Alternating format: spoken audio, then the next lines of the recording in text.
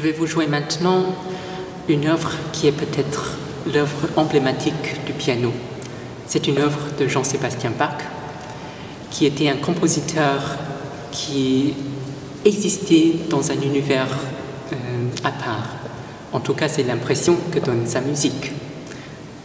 C'est sûr que, surtout dans ses cantates et dans sa musique figurative, il a essayé de créer des liens entre sa musique abstraite et la réalité. Mais en fait, euh, lorsque ces liens sont trop évidents, sa musique devient maladroite.